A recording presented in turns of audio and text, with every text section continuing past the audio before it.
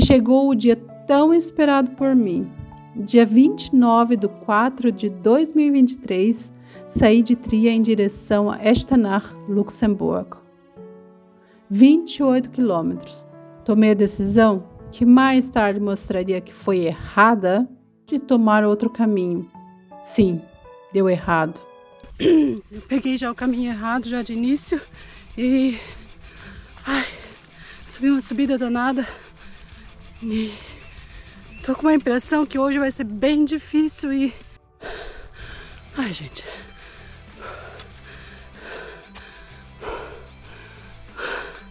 Vocês não fazem ideia. Vocês estão conseguindo ouvir as batidas do meu coração.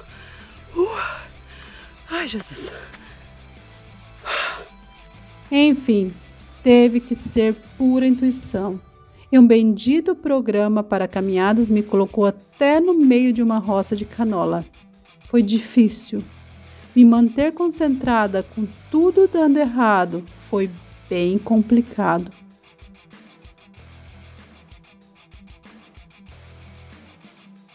Mas vamos ao que mais importa. Eu consegui com todo o meu esforço, já que estava com meu celular com bateria descarregada, sem dados móveis e sem carregador externo. Chegar em Estaná e dormir em um albergue super bacana.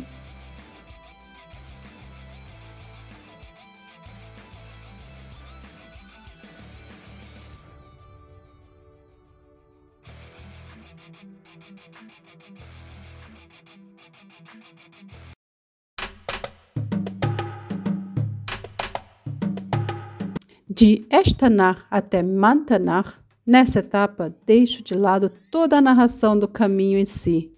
Quando penso nesse dia, eu não consigo me lembrar de nada a não ser dor. A caminhada do dia anterior foi bem difícil. Isso resultou em calos gigantes. E a cada passo dado era como se sentisse pontas de facas nos pés. Gente, eu parei agora para ver o meu pé. Ah, não tá muito bonito. As minhas forças estão acabando, a dor tá insuportável. Mesmo assim, decidi continuar e caminhei 25 quilômetros.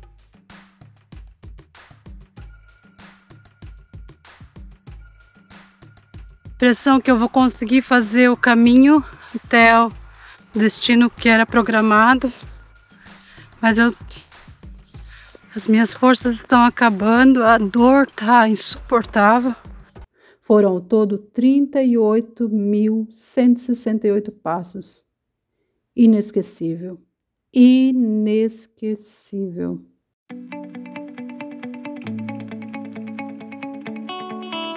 Finalmente, feriadão. 18 de 5 de 2023. Voltei para o caminho de Santiago precisamente para o Frente Camino. Saí de Mantenar com destino a Grevenmacher e com um dia lindo de sol.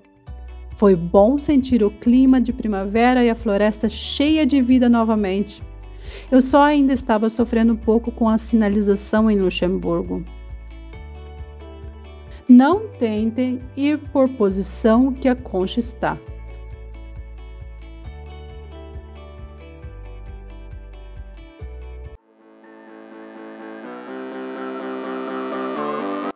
Dia 19 de 5 de 2023. Saio de Grevenmacher com destino a Betzdorf. Foram todo 21 quilômetros. Eu aproveitei o caminho tanto que caminhei tão devagar que, ao contrário do planejado, que era a capital de Luxemburgo, eu cheguei apenas em Betzdorf. E foi bom também. Caminhar e aproveitar o caminho é maravilhoso. São poucas essas oportunidades. Na maioria das vezes preciso caminhar rápido,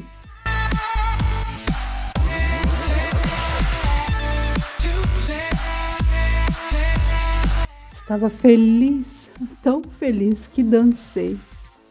Do meu jeito, mas dancei com felicidade. E isso é importante.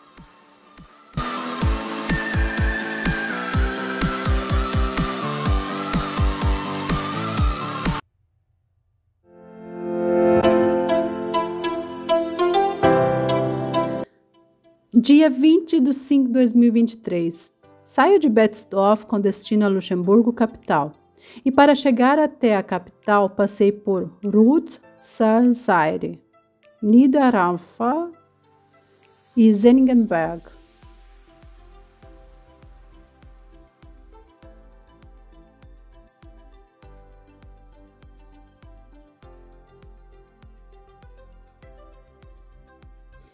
Os últimos quilômetros para chegar na capital foi um caminho asfaltado e muito lindo dentro da floresta.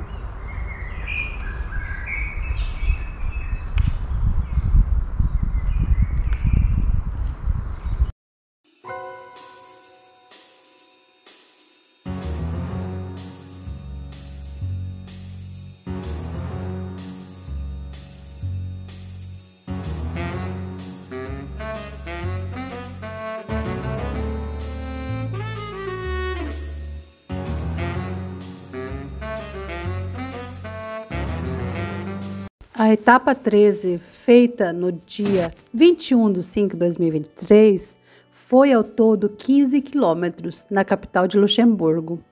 Estava se concretizando o que tinha planejado. Queria muito mostrar para vocês essa cidade linda. Sempre gostei de Luxemburgo e nunca imaginei vir caminhando até aqui. A capital cheia de história. Comecei a caminhada no bairro Kirchberg, e fui em direção ao centro. Ao longo do caminho, passei pela Torre Malakoff, que pertencia à Fortaleza de Luxemburgo. Passei também pelo cemitério dos soldados alemães da Segunda Guerra Mundial. O viaduto Passarela, ou conhecida também por Ponte Velha, construída entre 1859 a 1861. A Rocha Bock. A Cidade Baixa, a igreja San Jean Batista. Usei o elevador que me transportou da cidade baixa para a cidade alta. A Ponte Adolf, com 153 metros de comprimento, com um arco duplo e um vão de 84,55 metros. No dia seguinte, turistamos em família. No passeio, usamos o transporte público gratuito. Fomos conhecer a Catedral Notre Dame.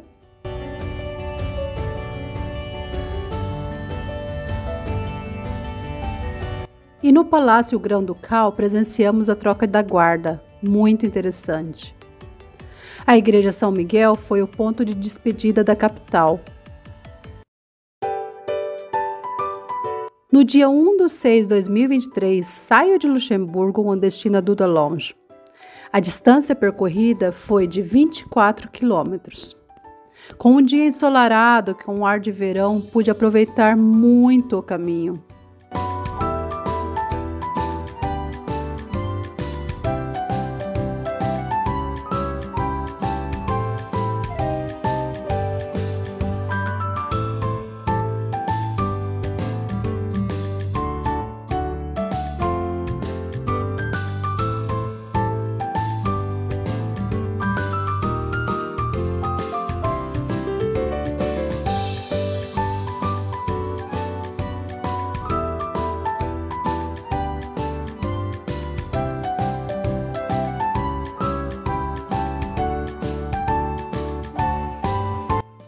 Passei por Runcheronge,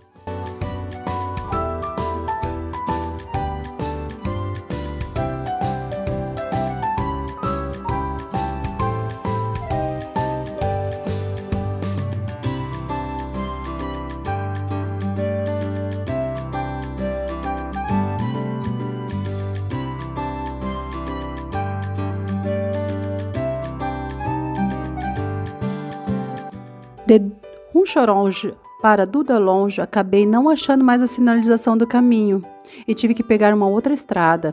No momento nem percebi que seria um problema para mim.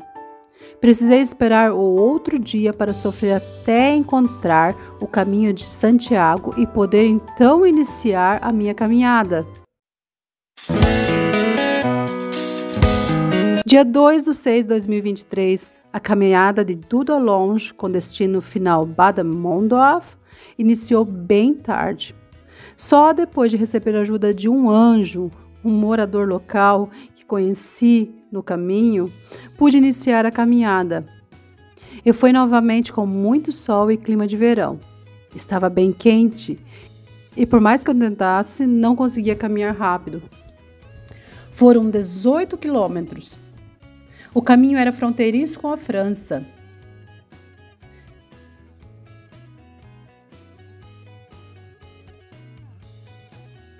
Cheguei a passar por dentro de Evrange, uma comuna francesa que faz fronteira com Frisonge. Depois de Evrange, passei por Altvis.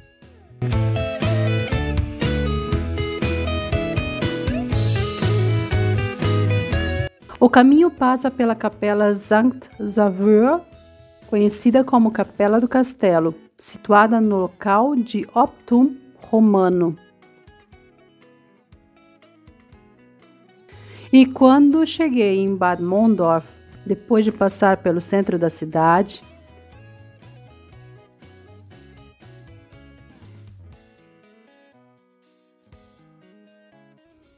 Vi aquele jardim de rosas e achei que estava em um filme romântico no paraíso. Fiquei muito impressionada com tanta variedade de rosas. A essência das rosas me pedindo para sentar e aproveitar o momento. E foi o que eu fiz. Não tinha como continuar a caminhada. Deixei tudo para o outro dia, mas valeu a pena. 3 de 6 de 2023. Já no dia seguinte, tinha como destino Schengen. Ali terminaria a minha caminhada em Luxemburgo. Eu precisei apenas 17 quilômetros para chegar até lá. Me despedi do jardim de rosas com mais de 250 variedades. Iniciei a minha caminhada.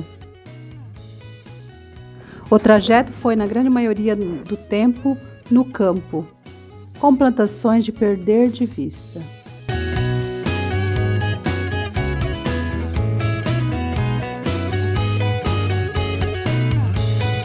Passei também por Elvegen,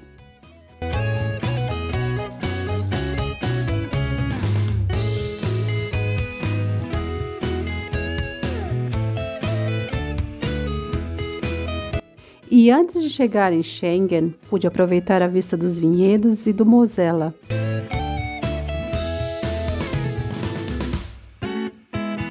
A cidade conhecida pelo Tratado da União Europeia me mostrava que eu tinha alcançado mais um objetivo. Concluir a etapa de Luxemburgo foi muito bom e me deixou com mais vontade de continuar. Eu já ansiava pelo dia que voltaria para Schengen para iniciar a etapa França.